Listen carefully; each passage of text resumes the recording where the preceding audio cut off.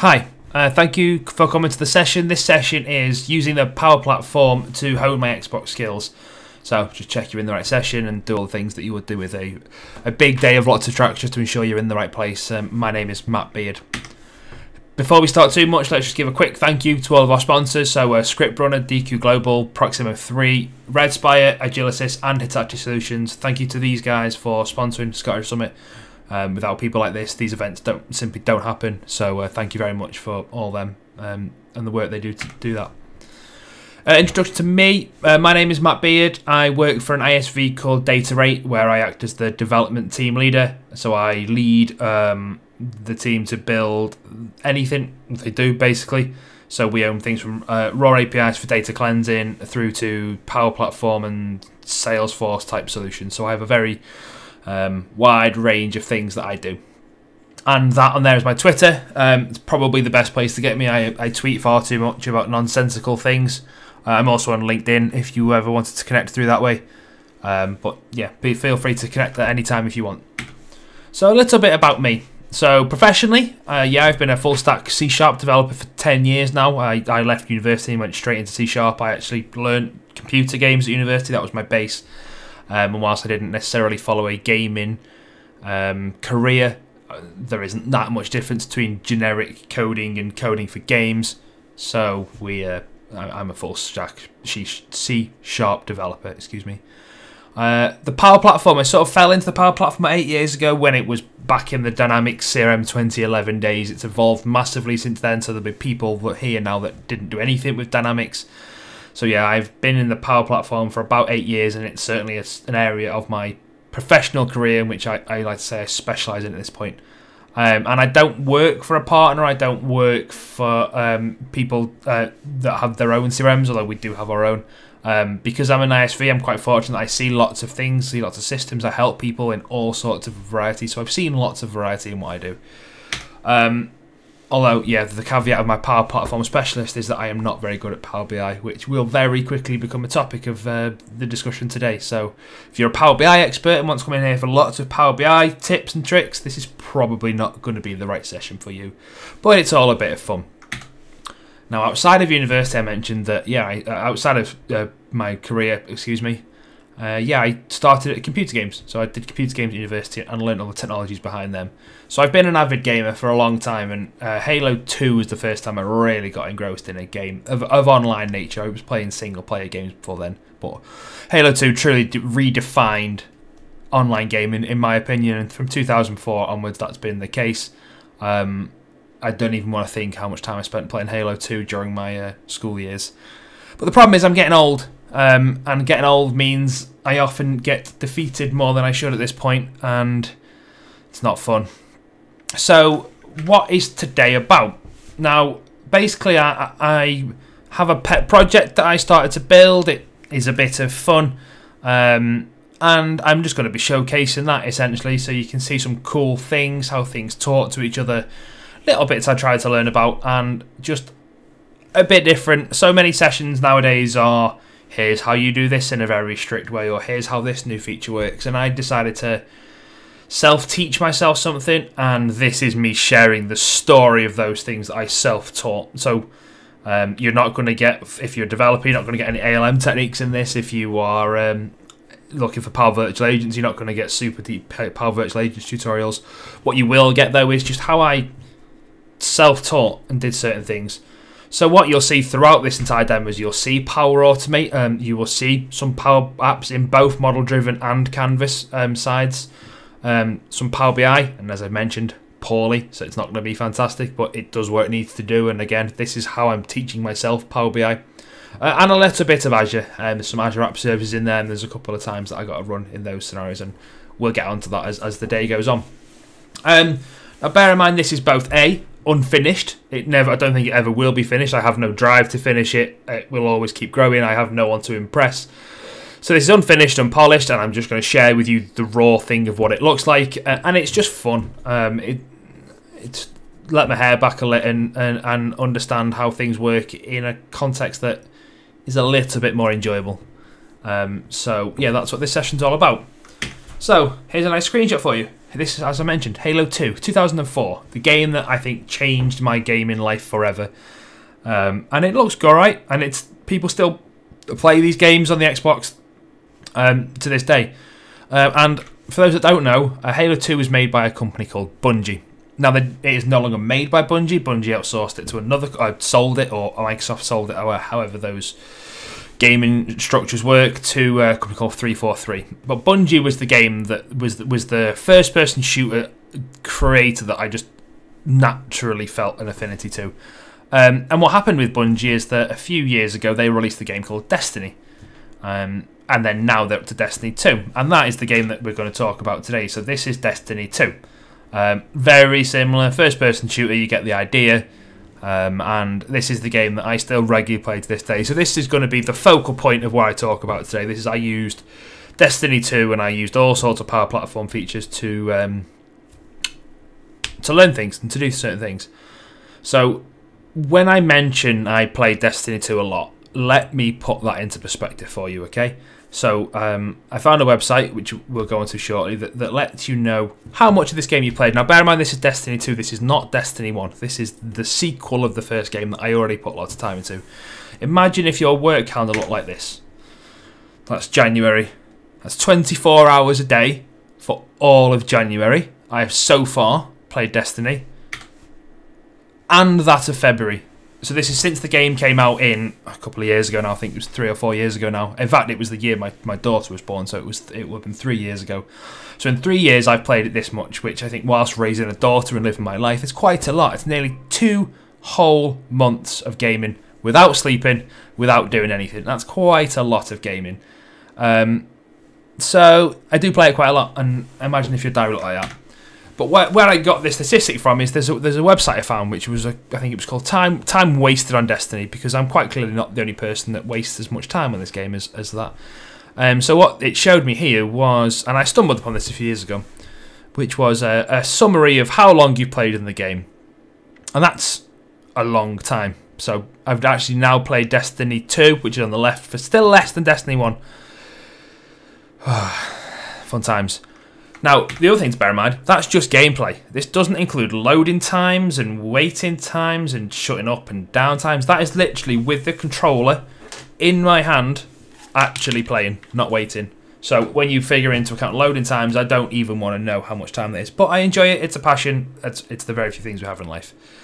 Um, but this little website, just knowing how much I play this game, set my cogs whirring. Um, because how do they know that? How does a website that I'm not logged into the game, I'm just on a PC at work, how can it know how long I've played the game for? So it just set that little nugget in the back of my mind that I that just earwormed into something bigger and bigger. So I then started to think, if they can find that data, then so can I. So when I want to learn stuff, let's see if I can combine this. Let's see if I can combine my work life, my home life. Let's see if I can personal develop my skills in my free time with a subject that I care about. Doesn't gain anybody, I don't need to impress anybody, but if I learn one new thing whilst doing it, then my employer's going to be happy. It's good better for me. I feel more enjoyable. I'm a big passionate advocate for the community. If I learn one thing that I can then share onto the community, fantastic. So um, yeah, I, I thought, well, what if I do this? I can self grow for the passionate subject. I've no pressure. Like as long as if this is my own time, nobody's coming at me going, "When's it finished? I want to see it. When's it done?" So it's all in my own time. But but where do I begin? So now I know that there's something behind the scenes that I can do. I started to dig around on the internet. Um, and as a developer, I've got a slight head start. I can read some of this documentation more than other people can. But one of the things that I want to show during this um, this time I've got with you, hopefully, is that you don't need to be a developer to do that. And I stumbled on this page, which is the Bungie.api. Now, as I mentioned, Bungie make the game. So this means they've got an API, which they makes sense because this person before told me that I've played the game for far too long. So this is where I started. Started with an app called Postman.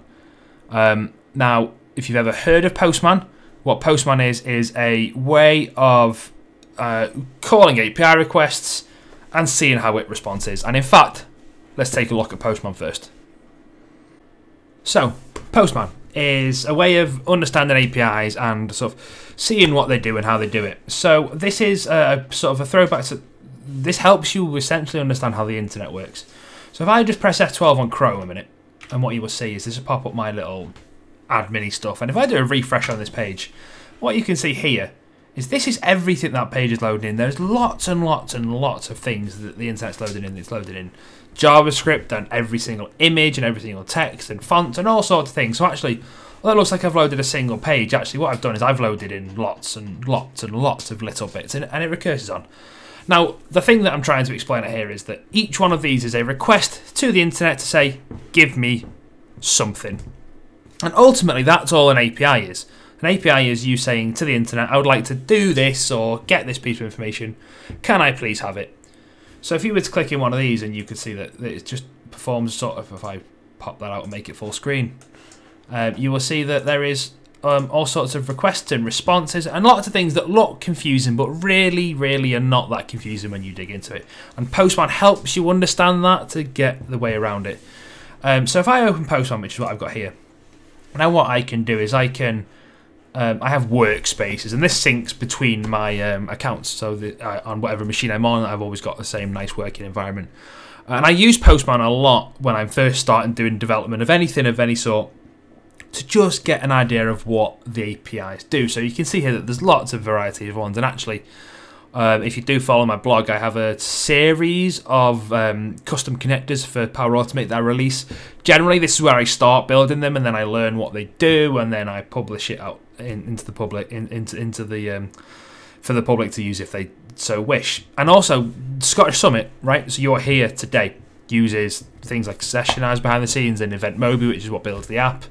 All these things have raw APIs, and there is a system behind the scenes that keeps them all in sync. And this all started work through Postman, so Postman is very useful. But what what what what what, what I mean, I'm sort of waffling on without actually showing you something it is. So if I if I go to Data8, it's a nice example because it's one I know that I know very well. Um, one of the things that Data8 provides as a service is the ability to take an email address, go to the internet, and go, is it real? Um, if the answer is yes, you can do this. If it's no, you can do this, and you can do whatever you want. But the API call is the bit that goes, is it real? Um, so after reading the Data8 documentation, what, what you would learn is you would need to send a post request, so a bit of text, to the internet to work out what it says. So this is a very, very dumbed down, simple request that you would make. So I'm doing a post to that email, uh, to that web URL, excuse me, with a body of text. Now there is an API key in this, don't worry, I, am not going to blur it out, it won't work after this demo, so don't worry about that. Uh, and I send this bit of data, so I'm sending a username, I'm sending my email address, and I'm saying what level I want it at. This you would find out more if you look at the documentation. And I press send, and that's it. It's a raw request going to the internet, uh, and you can see that um, the Data8 email address is a catch-all. So what that means is that um, the da- the at Data8 email address account will receive emails to anything at data and depend how it handles it. Um, now, if I was to change that and I do this request and I do it again, you will now see that the result response changes. So this is me making raw API requests. So I now understand enough of how this web request works that I can put it into my um, into a custom connector if you wanted to. Um, or you could put it into some C sharp code, or you could put it into a plugin, or you could put it into Salesforce. You could do whatever you want. Um, the point is now is that you now know how the data's got to look to go to this web service and how it looks when it comes back. And it's a solid starting point of what you can do. So you can see I've got loads of fun ones in here. So I've got um, things I've played. So What Three Words, if you've ever played What Three Words, it's fantastic. I always talk about What Three Words, which is how you can turn an address or a latitude and longitude into a three meter square box anywhere around the world to help with deliveries and stuff. So by looking at their documentation, what I learned was that you pass an API key, and again, don't worry about API keys, and you take three words and you send that, and you get a response back, and the response is, this is where it is. So again, this is just me building up a portfolio of APIs that I could potentially use, understand how they work, and I can I can play about with them. And up here we can see Bungie. So this is the thing that we're talking about. So uh, a good example of this was Get Profile. It's a solid place to start. Now, um, bypassed a few steps in the interest of this demo, which is finding out what some of the numbers in the URL meant. If you go on the Bungie documentation, it would tell you. So, for example, that means Xbox. That is my unique ID as a membership ID. Those sort of things. I've sort of bypassed that for the for purposes of speed on this demo. Um, and yeah, so I now know this is the request that it wants. So um, it's actually parsed things out. So this here is duplicated up here. It's built the URL based on that. Um, it's got some headers, it's got some API keys and all sorts of that. A lot of them are auto-generated, so I can hide them. Actually, the only thing I put in again was an API key. Um, and I press with send. So this again just helps me confirm I've understood the API, I understand what it does, and also gives me an idea because of, of what the response looks like. Because it's great reading documentation to go, this is what we'll give you. We're going to give you um, a display name and we're going to give you a membership ID and a membership type. But to, until you see the data in, in all of its structure, you realize actually it's quite difficult to do. And this is a single request I've made now, which gets me my profile, and within my profile gets me some extra things. I mean, and look at the sheer amount of data this is going to return back now. For you to read that in documentation, you're not going to be able to visualize it. So I always find making these requests is, is useful. So Let's just pick a few a few spot checks that you can see down here so I can collapse to understand my data so I can decide to user info. There you go. It's got my username so that knows I'm talking about me so I can close that down. Um, date I last played, so at the time of recording I played it far too late last night. Um, so I'm relatively tired, but you can see 12 hours ago I was playing this game. Um, I have some IDs, this is what I've got unlocked, all this sort of stuff. This is all publicly available because all I've done is pass in an API key. I've not authenticated really behind the scenes. I've just got an API key that I can get from the website and pushed it through. Uh, and then I've got characters, so then I've got, as we will establish shortly, you've got a number of characters you can do and what they've done and minutes played, all this sort of stuff. So you can see how the data that I've already seen has come about and I can really start playing with some stuff. Um, and yeah, now, now I've got this, I've got a solid starting point. So Postman may look complex and I know I've sort of jumped in at the deep end to show you this part. Um, but I absolutely think Postman is something that's worth spending the time learning um, because it really helps you understand how API requests work. And if you can get this idea in, and I'm not even in Power Platform yet, um, then it really can benefit. I certainly benefited me as a developer to understand how these things work. Um, so yeah, so that's Postman, and that was the starting point of what I'm talking about with that.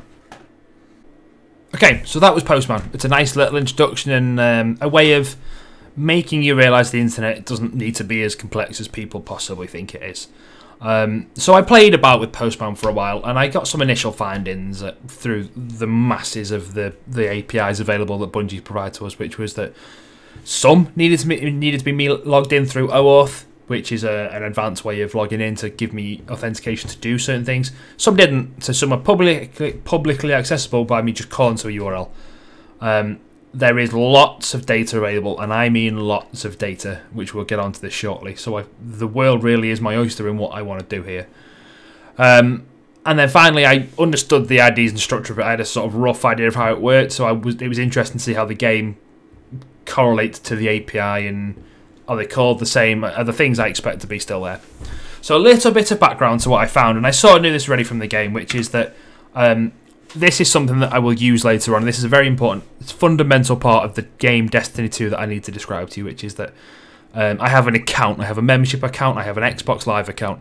So I have a, a single membership, and I am allowed up to three characters to play on my game. So I can pick a certain character and I can play as that character, basically.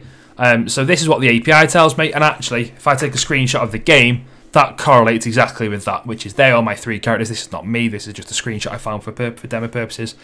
Um, but you can see there, there's three characters within that, so that's nice to know that that correlates, and this is what I'm going to be using.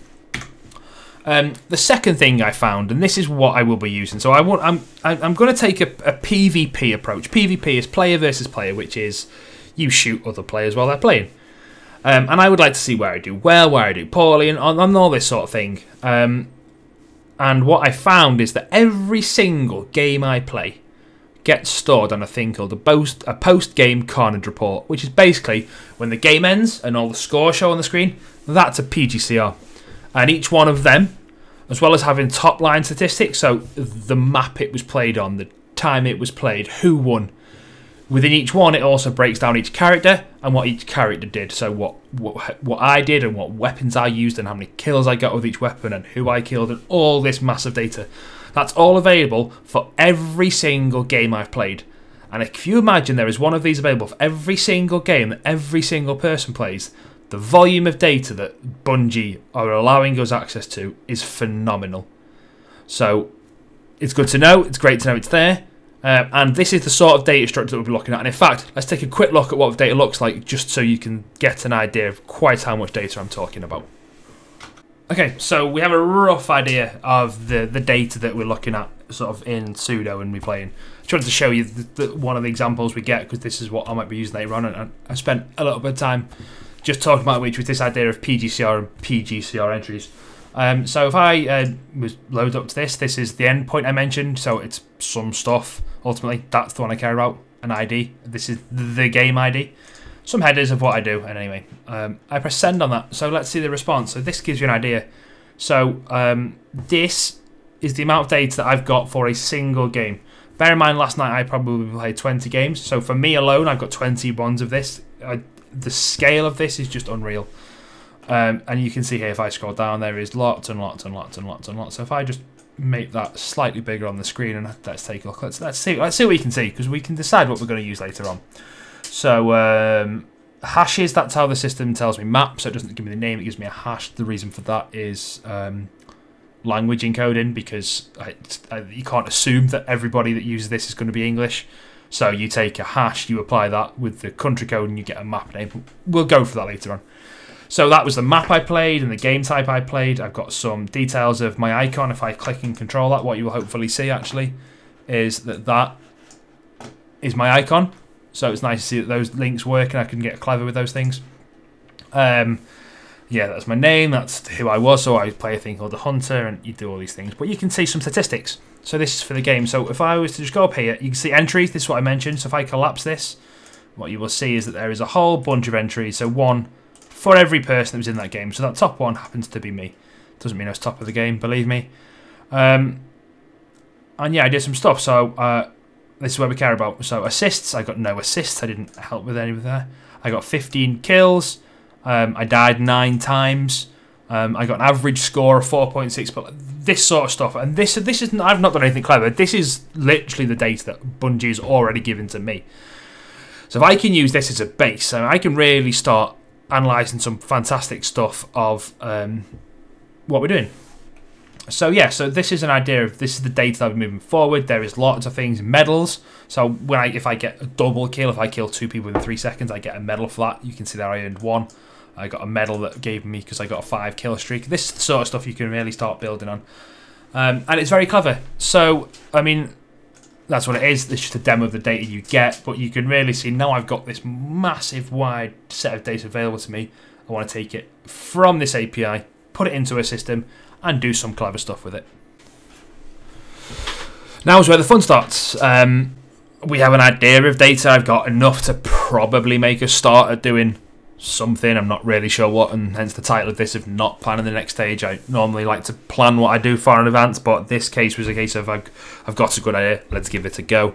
So how do I start and what do I do? Now, first thing that I'll refer back to is there's, there's a few things if you want to play with this sort of stuff. You've got two options really, which is either community plan or Dataverse for Teams because I'm not doing this in work, which means I can't chuck this into my production or my dev environment of where I'm, I'm working on a daily basis. So I, I need somewhere else that I can is my playground. Um, so Dataverse Teams is good for this if that's relatively new. Um, the we do use things like custom connectors in there later on, which licensing is a bit awkward with the Dataverse Teams. It does work for a while, and you've got to keep playing about. Um, so whilst Dataverse Teams will work, um, if you've got an ability to use the community plan, I highly recommend the community plan. Um, you basically get your own environment to play about with and do whatever you want. It's it's not production enabled. It's it doesn't have its massive resources, but what it does is it it's a playground that you can't hurt anything and you can just do whatever you want to do. So for this demo, I'm everything I do is in a community plan environment, and um, yeah, I would suggest absolutely checking out the community plan and, and seeing what it's about. So what I'm going to sort of do at this point, because I've got a vague idea of the data I've got, is I, I know the data structure at least, and I know the data I think I'm going to care about, so I'll get an initial data structure um, but now I need to then get at the data and then I need to analyze the data. So this is sort of the route I'm going to take. And, and like I say, this is not uh, inclusive of what I did. This was just a case of what can I do next? Which, um, again, I'll reiterate personal project, fine. Actual real life career project, probably wouldn't do it this way. But that's the point of this session, right? It's a bit of fun. It's a bit of breaking the norm and just doing something a bit more unusual. So um, first thing I'll do is let's have a big demo and let's see what I did and where I got to. Okay, so it's time to take essentially a bit of an unstructured look into everything I've done so far, just to take a look at what it does. We'll show you how some of it works and just show you what we managed to do. It's pretty cool, and um, yeah, we can dig into it bit by bit and take a look. So, coming from a Dynamics 2011 world, this is where I very first started. I know people were here way before that in 3, 4, and whatever. Um, model driven apps to me are a very useful way of seeing data, handling data, managing data. If you come from a canvas app world, the jump to model driven apps sometimes can seem a little bit difficult. Um, so I'll start with the model driven app because this is where I like to see the data and manage the data. So I built a few structures. I built the things we cared about, which is memberships and characters, and then PGCRs and, and their entries. They're, they're essentially the four things that right now um, we're going to care about. So I've got me and I've got a friend of mine in here who I, I was testing this with for a while. So I've got me and somebody else. Um, and I exist in here as, as, as my character. And then within that, I've got a link and say these are the three characters of that membership. So a throwback to what we mentioned about earlier. Um, and getting those details in is in there, um, certainly. So it's in the Power Automate, excuse me, so I'll show you how we did that shortly. Um, and then we have the, the PGCRs and the entries as well. So if we look at this, this is the bit we care about, right? This is the bit. So we can see that I've got data now loaded into my system so we can see again, this is the games that I played last night. Um, it's a completed game, it's got some details. Um, if I open one and take a look, what we can see is that it's got an ID, it's got a map name, um, updated yes or no, who won the match um, based on some calculated fields. That was a useful way of me learning calculated fields that I applied them in here rather than store the data um, by itself. And down here we store data about each person. So there's me, for example, and actually I got the highest score in that game. That was entirely by luck. Um, it's not I, why I put this demo on purpose. Um, and, and, every row there's got a, a kill death ratio score, whatever. And I can look into that record, and I've got that slightly separate record. I've got more details on it. So that was my score, my kills, my uh, my assists, my deaths, all that sort of stuff. So the data now exists within Dataverse at this point, which means I can use it pretty much everywhere. Um, and that is apparent by the fact that I've also got this, um, which is um, Canvas app. Where's my Canvas app gone? Let me. Oh, there we go. It's that one. Excuse me. So what that one sees is um, the same thing. It's the same data. It's the same everything, but this one works on my mobile. Um, model-driven apps are a bit more awkward to do that. So this is me. I can navigate and view the data. So this is going to load in my previous games, and this is to see if I can sort of check this whilst I'm playing sort of on my phone at the time, and I can keep a track on it. So you can see there, that was the game I played last night with 15 to 9. Um, and then I've got some details on. I could start expanding that more. And like I said, this is a work in progress, but this is the sort of thing I'm using because I don't always have my PC available as I'm playing downstairs. Um, so this is what I have instead.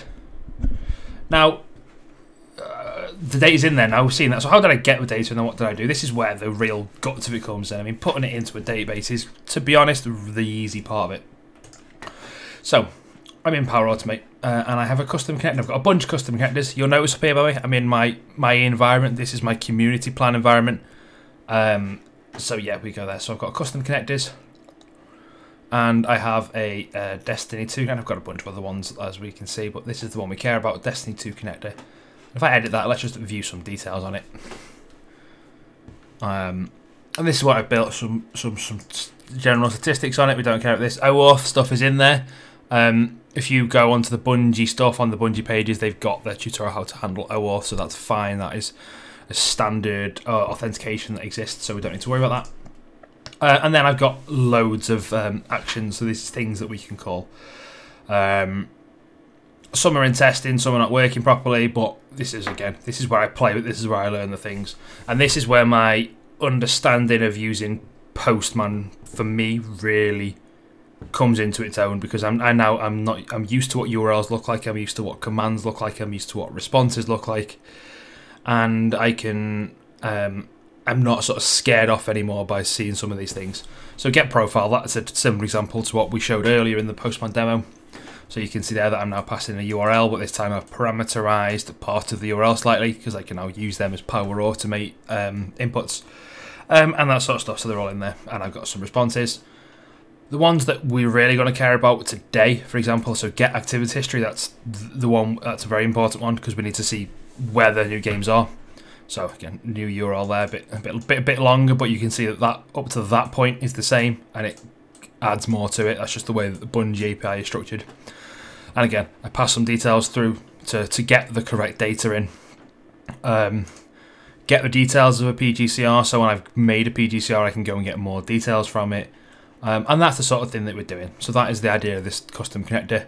Um, if anybody is really interested, I'm happy to share the custom connector if you're a Destiny 2 player. Um, otherwise, your usage of it might be fairly limited. So if I look at my flows, I've got a, a whole bunch of flows. Some are with the Destiny 2 stuff, some are just me playing with other things. Um, so this is one of the main ones. This is one that is um, check for latest games and membership. So this is a on a schedule. You can see it's running um, every hour just to see if I'm playing games. So you can keep the data up to date. So there might be an hour lag in me playing a game to exist in there, but that's not the end of the world. I, I'm not up to, I'm not after sort of minute by minute analysis on how I'm doing. Rather just a, a, get a, a rough idea of it. So every hour I'm running that. Um, I go and get me as a record in, and then these are the bits we care about. So go and load in my data from the Bungie website. Um, have I played? So I've got a last updated field in CDS. Do I care if I've played? If I don't, then no point me running this this, this Power Automate. Um, if I have played, then I need to go and get all my characters, and then for every character, I need to go and um, get all my activity, increment over them because that's a paginated uh, response. So I need to keep going until I've got them all. And then what I then do is if I have played and I've got a game, then I go and find if it exists. If it doesn't exist, I go and make one. It's a bit long-winded, but basically the ultimate end game of this is if I find a new record, I go and make a brand new PGCR in my system, and all I put in is the ID because I've got a second flow in a minute that handles getting the data in because they're all called different endpoints. So that makes a new record, and that's it.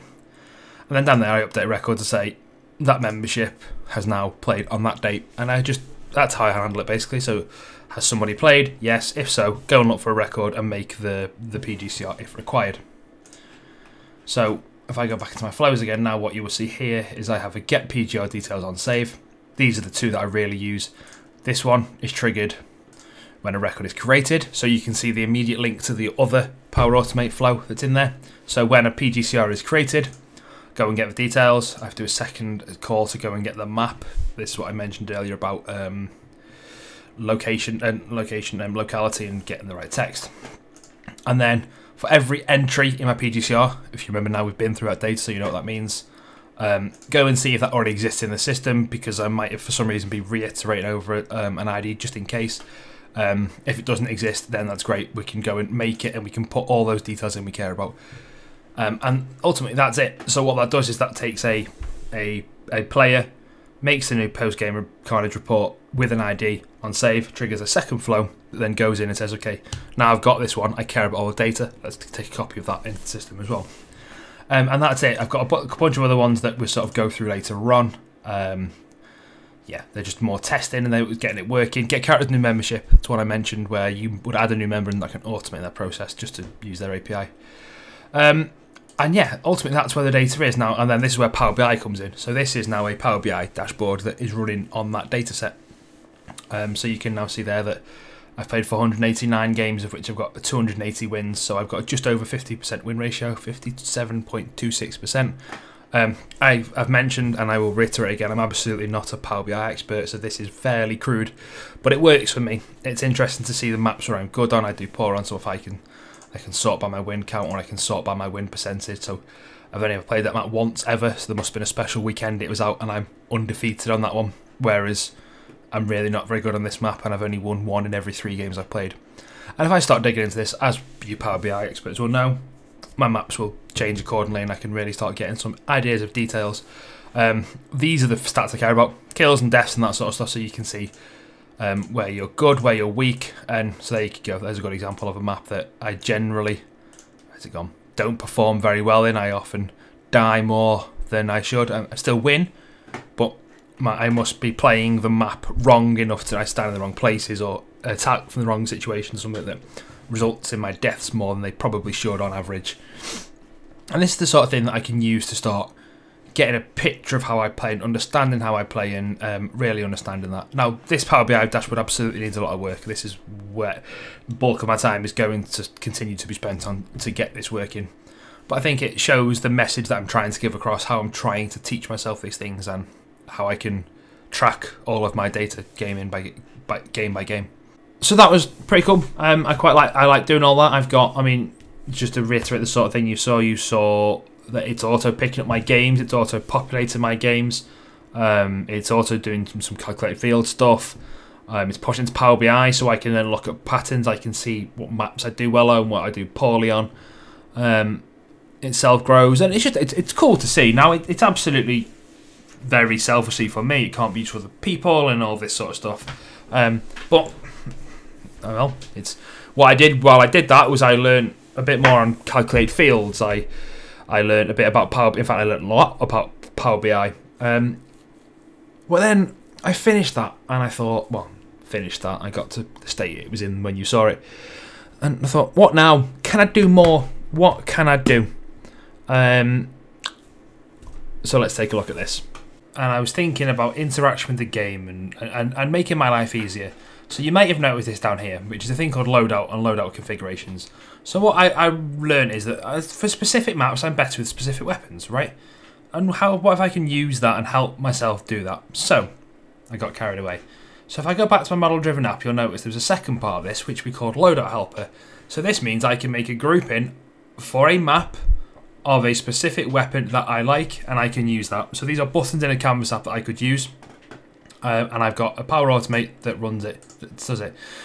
So the idea being, I press a button there, it interacts with the Xbox and puts the weapon on that character and equips it, if possible, to save me that job. So, I mean, that's crazy when I'm just playing the Xbox and my phone can sort that out for me. So, this is where we get technology inception. This is the Xbox controller. And if I go here, I'm currently streaming my Xbox to Twitch, so there is a slight delay. So if I was to press right in about a second or two, you will see that the little cursor on the right hand side will move, hopefully, to the right. There we go. So there's a little delay on this just because of the nature of how it's working. I don't have a capture card, unfortunately. So in a minute, that's going to move again. So what should hopefully happen now, all going well, I will leave the controller there so you can see I'm not pressing any buttons.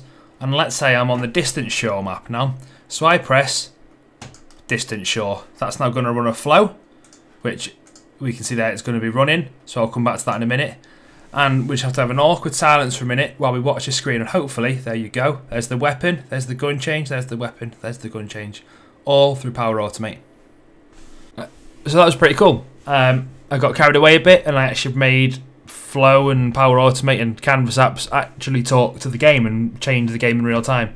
Um, the controller wasn't in my hand, and you saw these things change. So I thought that was pretty cool. Um, it's a nice little way of interacting with the Xbox and going that level ahead.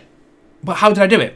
Um, now, for the eagle-eyed of you that did that, that that were looking at that, you will have noticed actually that the the the Power Automate flow that I ran during that actually was using a slightly different connector than the one in in the earlier demo. Um, and the reason for that is actually that the the Destiny API. I say awkward Destiny API. Maybe that's working itself fine, and, and Power Automate is being awkward.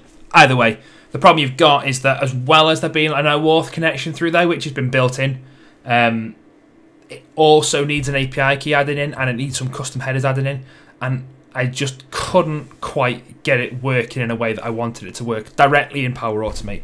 Um, and because of the way that get a bit technical now, and I apologise for this, but for those that, of you that understand this, is great. Because of the way that essentially the um, the flow connector proxies into an Azure system that then runs it and gives you a response back. Um, you don't always see the responses you need to see to be able to do it, and you can't always see the raw requests that you're sending. So when you looked at Postman, I knew exactly to the character what was being sent and what the response was. But there is times when Power Automate is manipulating my request to make it do something and then send it on. I don't know what that looks like. I, I personally not yet found a way to see that. There may be a way, um, but I don't know what it is if there is. And then you get the response back as well. So it was a bit awkward. Whereas I know how to do that as a coder behind the scenes. Um, I can be a bit more powerful for that. So what I did was I myself rebuilt the Microsoft proxy um, and built my own web app that then acts as the interim to send it on. Sounds complex, right? So the easiest way for me doing that is rather than me try and explain it, we'll just dive in and this gets code heavy. So for non-developers in there, I do apologise, but it's certainly useful for you to see. And like I say, This is not production level code. This is a bit of fun. So it's very hello world. It's very templated um, with the default stuff in there, but you'll get an idea of how it worked and if you were realistically going to take this to, to, to anything more serious, you would redo a lot of this. Um, but it's a nice thing to talk about, so uh, let's dive into that. So this is where it gets very in depth, and I'm not going to dig into it for the purposes of time and also the over complexities of um, what we're doing. And this is probably very high level for what most people want to know, but it's cool to show, and for those people that care, I figured it's worth sharing. Um, and what you may see is that so here there's a we actually use a slightly different connector. So I've got a new custom connector in here. Um, so what I do here is this is the flow that was running before, which was I can take the import, I get the map name out, I go and find all the, I go and find all the weapons I need for that map name. This is all to do with the um, the the layout, sorry, the data structure, excuse me, in Dataverse. And for every one of those weapons, I call my custom connector now, which does the transfer and equip weapon. Now I need to call another custom connector because I'm not actually calling the Bungie API directly. I'm actually calling an interim API that I've written because of the difficulties and that Power Automate is limited and won't quite make the request as required. So what I had to do is I had to, to, to proxy it in the middle. So without going into too much detail, what you can see here is I've now got some code. This is code. This is the code that makes a website in, in a technology called MVC. Um, and I've got all sorts of code that's making requests and, and, and, manipulating the web service to do what I want it to do. Um, now, Power Automate handles this stuff fantastically for you. Normally, never need to worry about this stuff, but in my case, I needed it. Super high level stuff. But I, what I did is I made this as a web service. I then published it out to Azure. So you can see there that I've got a, a website that exists there, and I've now got my own API that then in turn calls another API. So that we call a proxy. It sends it outwards. So what I can now do, my extra custom connector, um, is you will see that uh, Destiny 2 proxy, there we go. There is a couple of endpoints in there that do the same sort of thing, equip and transfer weapon, but this time they're calling my own proxy, which then passes it through onwards. So it's a little bit complex. Um, this is this isn't probably your everyday person could do. Um, but I think it's the result was super cool ultimately, and um, that's yeah, that's how I managed to make my Canvas apps talk and change what I'm doing on the Xbox in real time through the help of um, a API from the developers and then an interim one by myself. And ultimately, that's it. That is my um, my, my session. That is you've you saw me playing with stuff, you saw me build things, you saw how it interacted. Um, hopefully, you found it interesting or cool. Maybe even as a benefit, you learned something from the session. I don't know. Um, if the one thing you've learned is that I like Destiny 2 and you fancy playing it, reach out to me. Um, otherwise, I am in chat. Um, apologies for this being pre-recorded. There was so many moving parts that I can show you can understand why um, it was pre-recorded. But like I say, I'm in chat with myself muted. So at this point, I will uh, give myself a signal to unmute uh, so I can uh, hear everybody. And without that, thank you very much for attending and have a wonderful Scottish Summit.